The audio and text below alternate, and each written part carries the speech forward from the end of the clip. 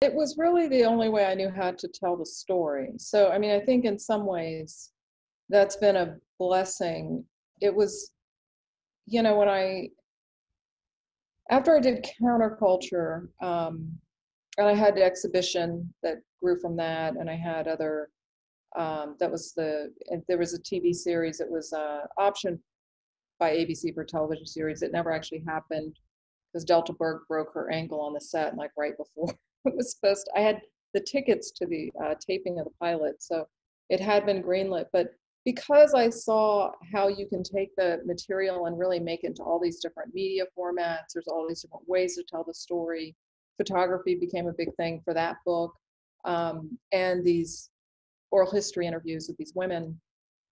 Once I, I never could just write to rely on the written word, I guess, as to be the um, to be the definitive uh, format. And even with this book, Overground Railroad, I mean, when I went to Abrams, you know, they're an art book publisher, and so, but I was really concerned that it would be too pretty of an art book, and that you know, because it the material and the subject was so important in terms of race and the research that went into this. I mean, I've been that's the other double-edged sword of when you take pictures people think oh you just traveled around the country for the summer and took some photographs. It's like no that work i've, I've been doing scholarly research since 2013 on this book for overground railroad. And i you know i had the fellowship with skip gates. I had the fellowship with the Schomburg i had acls i had neh i mean there's all these different so i've, I've always been in that middle that middle ground between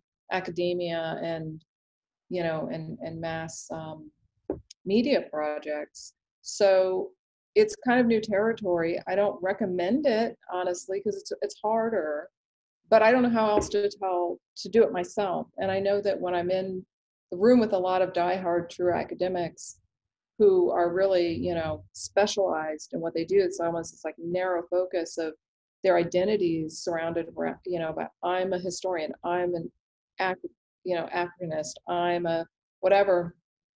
And when I'm in the room with those people, I said, well, you know, but you can try this, this, and this. And they're like, wow, I never thought about it that way. But that's what, you know, my agent, my editor, when I thought I was going to go to grad school to get my PhD, I got my master's. But when I couldn't make a living early in earlier days as an author, I thought, well, I'm just going to go get my PhD. And they were like, no, it'll ruin like it will suck the life out of what makes you you. Hmm. like, don't do it. And I didn't understand it at the time, but now I'm like looking back, I was like, oh, they're right. I get that, you know, being an artist and, and being a creative thinker informs everything I do. Um, so it also helps when I take scholarly, you know, uh, material. I represent it in a different way just because it's the way that you know my mind thinks as an artist.